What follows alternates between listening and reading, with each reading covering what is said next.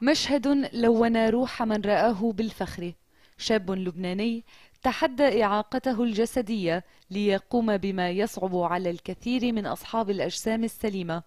هو مايكل حداد صاحب جسد مشلول من صدره حتى أسفل قدميه بسبب حادث تعرض له في طفولته.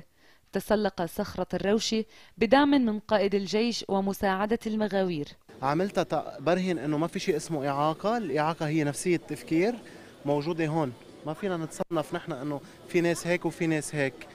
واخترت شخص صخرة الروشة لأنه بتوحد لبنان وتجمع كل اللبنانية. حسيت إنه حد بدك ترجع أو خلص لا لقيت حالك قوي وقادر تكفيها أو كنت بتوقع إنك تكفي. آه ليكي كثير بتحسي بهي لأني عم بتخزق وعم بحمل كل جسمي وإذا بتشوفي بتطلع وفوق في كان في كثير ضغط.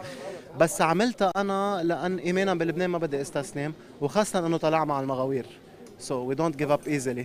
بعكازين استطاع أن يصل إلى القمة ليرفع العلم اللبناني أمام الآلاف من المواطنين. ونخليكم مثل لكل واحد عنده مشكلة ما قادر يتخطيها. يعمل شيء ببرز حاله بالمجتمع لبين يثبت حاله يعني بس بالمجتمع. فكرة حلوة إنه يجمع اللبنانية ويشاركوا معه بهال بهالرحلة الحلوة. نحن بنرفع راسنا بمايك حداد. عامل جهد كبير ليفرجي الشباب إنه لازم يكونوا عندهم قوة وحماس. آه شيء حلو كتير وشجاع كتير كان فيها. شغفه بلبنان وبأرزته محى الصعاب أمام عينيه. اللتين تترقبان الوقت القريب لرفع علم لبنان فوق برج خليفة في دبي.